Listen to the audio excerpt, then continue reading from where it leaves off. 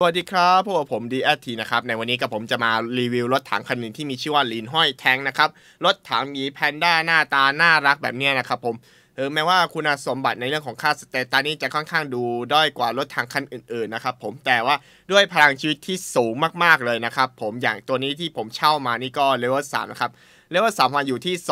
2,179เนี่ยค่าชีวิตนะครับผมส่วนรถถังคันอื่นๆ ค่าชีวิตนี่ยังไม่ถึง 2,000 กันเลยทีเดียวนะครับเนี่ยตัวนี้ดีสุดก็ พัน แต่ตัวนี้ 2,179 ในเลเวล3นะครับ ผมเรียกได้ว่าเป็นรถถังที่อยู่อึดมากยิงในระยะเผาขนนี่แทบจะแลกหมัดก็ได้สบายๆเลยทีเดียวครับ โดยสายของรถถังเนี่ยครับอยู่ในรถถังประเภทกายภาพนะครับ การโจมตีธรรมดาและผลของสกิลก็เป็นลักษณะรูปแบบของกายภาพนะครับ ทีนี้มาดูสกิลติดตัวอย่างเช่นบะหมี่เพิ่มพลังทุกๆ การโจมตี 3 ครั้งเนี่ยการโจมตีครั้งที่3เนี่ยจะสามารถฟื้นฟูค่าชีวิตได้ในระดับหนึ่งสงบดุดวารีหลังจากที่ใช้ในการขจัดผลด้านลบแล้วก็จะช่วยเพิ่มพลังป้องกันด้วยโดยการแบบดูลดดูซับความเสียหายในระยะระดับหนึ่งนะครับ แล้วก็มังกรเทพยานสกิลหมีกระโดดกระแทกกลุ่มศัตรูนะครับผมให้ศัตรูเนี่ยครับมันแบบติดสถานะผิดปกติ แล้วยังได้รับความเสียหายต่อเนื่องอีกด้วย อ่าทีนี้มาดูรูปลักษณ์ก่อนนะครับ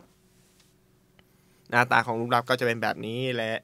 อ่าครับคราวนี้เดี๋ยวเราก็จะมาทำการทดสอบกันในสนามรบจริง ๆ กันเลยนะครับ ผมกับ 3 สกิลเนี่ยนะครับผมเรามาดูกันเลยดีกว่า โดยคุณสมบัติรถถังที่น่าสนใจเนี่ยครับมันก็เหมาะไว้สำหรับในการยิงแบบแลกหมัดนะครับผมเพราะว่าไอตัว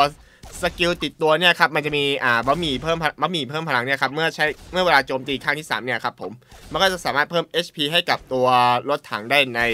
ระดับหนึ่งนะครับเอาละเข้าไปบู๊กลางสุดๆเลยแล้วกัน ยิ่งถ้าเราใช้อ่า skill ป้องกันแบบนี้ครับนอกจากจะช่วยลดความเสียหายแล้วเนี่ยครับผมทำให้เราแบบว่าอยู่ถึกแลกหมัดได้ไม่เกรงใจใครกันเลยทีเดียวครับผม และหลังจากนั้นเราก็จะใช้ skill มังกรเทพทะยานตูมเข้าไปนี่ครับสร้างความเสียหายต่อเนื่อง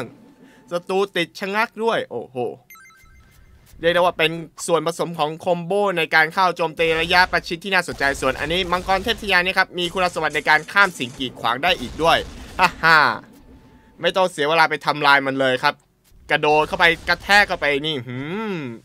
ทำคะแนนได้ดีเลยเทียว แต่ครั้งนี้เราก็ต้องใช้ skill อ่าวารีสยบนิ่งเพื่อในการอ่าดูดซับความเสียหายด้วยและนอกจากนี้ครับถ้าเกิดว่าถ้าเราถูกโจมตีแล้วติดแช่แข็งหรือติด stun ก็อย่าลืมใช้มังกรเทพวารีเพื่อในการฟื้นฟูด้วยนะครับผมแล้วก็เนี่ยแหละครับคือ combo ที่น่าสนใจแล้วก็คุณสมบัติของรถถังสายอัดแลกหมัดนะครับผมนั่นก็คือ